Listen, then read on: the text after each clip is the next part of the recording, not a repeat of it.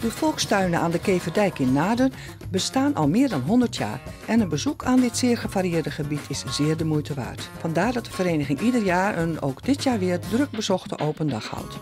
Het complex bevat 200 tuinen op in totaal 4 hectare grond met verschillende grondsoorten. In de beginjaren werden de percelen vooral gebruikt om er groente en fruit te telen. De tuinders waren in het algemeen niet de rijkste bewoners uit de omgeving. In de loop der jaren kwam er ook steeds meer sierteelt. De leden van de vereniging vormen een zeer gevarieerd gezelschap, zowel in leeftijdsopbouw als in achtergrond. De vereniging heeft de allerhoogste certificering van het Nationaal Keurmerk Natuurlijk Tuinieren behaald. En daar zijn ze heel trots op. Bloemkooltje, eigen oogst. Ja, dat klopt. Groeizaam tuintje hier, blijkbaar. Ja, maar ja, wij doen echt een oude stalmest, één keer in de drie jaar in de tuin. Dus daardoor krijg je natuurlijk ook een goede plant, hè. Dus, nou, dit, dit is een... Puur natuur, helemaal goed. Helemaal goed, oké.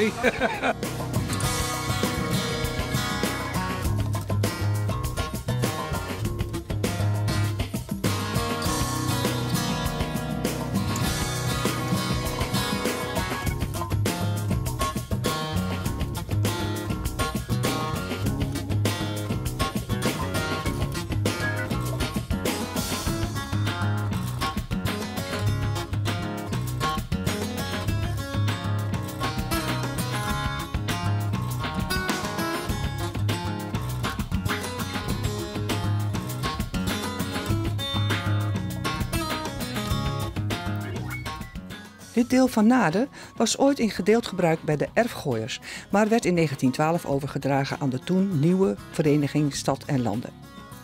In 1933 kocht het Goois Natuurreservaat dit stuk land van Stad en Landen. Jaren later kon de gemeente Naden dit complex voor een vriendenprijsje kopen.